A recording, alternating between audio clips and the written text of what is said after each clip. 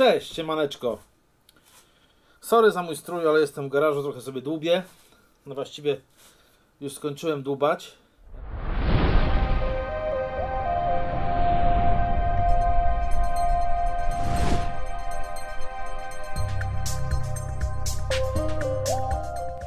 A teraz przejdźmy do właściwego tematu tego odcinka, czyli rozlewanie na cichą fermentację moich dwóch baniaczków, bo jak widzę burzliwa się już skończyła. Powinienem to zrobić wczoraj, ale jakoś tak przyszło mi co innego do roboty, także dobra, zabierajmy się do roboty. Wśród narzędzi majestatycznie stoją zbiorniczki z moim piwem, więc dzisiaj będziemy je... Czekajcie, mi tu przeszkadza fotel, więc dzisiaj będziemy je przelewać do na cichą fermentację w nowe przezroczyste zbiorniczki. Jedziemy. W tym celu podgrzeję sobie troszeczkę wody, wleję do wiadra. Eee, już Wam tego nie będę pokazywał, bo to jest banał.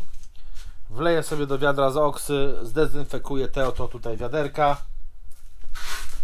No i będę przelewał piwo. To Wam pokażę. To widzieliście w poprzednich filmach, ale też Wam jeszcze raz pokażę w wersji double. Wiaderka już wypłukane, oksy zlane, wydezynfekowane, wężyk wydezynfekowany i dobra, zlewamy, no po prostu, lejemy i tyle. Bardzo ważna sprawa. Trzeba uchylić wieka, ponieważ odkręcając teraz kranik, zassamy wodę, która tutaj stała cały tydzień czasu, a ona może być z różnymi syfilisami, także uchylam delikatnie. Po prostu tak robię. Jest zopenione. Możemy zajrzeć do środka. No pięknie. Drożdże prawie wszystkie opadły. Tutaj jakiś mały zbiór. No to będziemy obserwować przy zlaniu. Dlaczego to jest zlanie na cichą? To zlanie na cichą częściowo oczyszcza to całe ustrojstwo. No i dobra, lecimy. Tam będziecie coś widzieć. Pewnie tak. I na tym etapie najlepiej, żeby to się nie pieniło. O dobra. Poszło. A my tymczasem otwórzmy sobie drugi.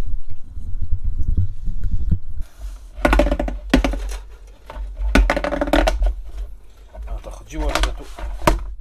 O, I już. Ach. Ale powiem wam zapaszek. Wow! Kurde, mam tych wiader tyle.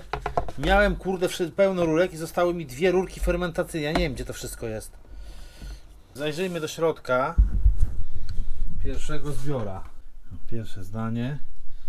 Już pachnie ładnie browarkiem. Także tu się zlewa. Piękne piwerko. A jak smakuje, wow!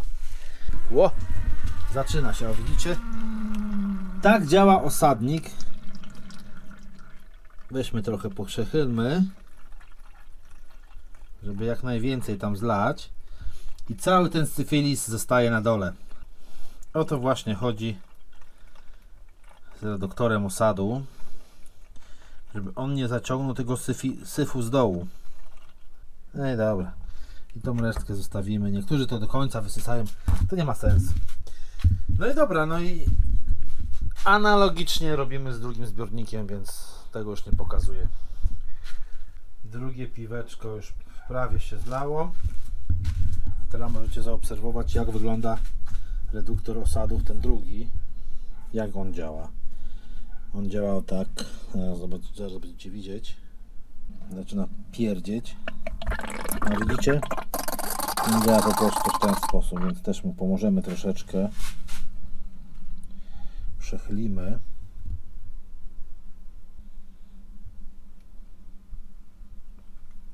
Dobra, bo zasysa syf.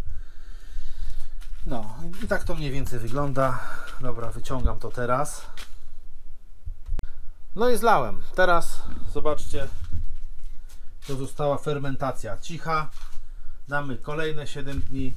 Piwko w tym momencie się znowu zmętniało podczas przelewania, no bo troszeczkę tych drożdży tam się zruszyło, ale zapewniam Was, że będzie klarowne, czyściutkie i pyszne. Polecam. A na dzisiaj to już wszystko. Dzięki, że byliście ze mną. Cześć. Tell me pretty lies, look me in the face. Tell me that you love me, even if it's fake.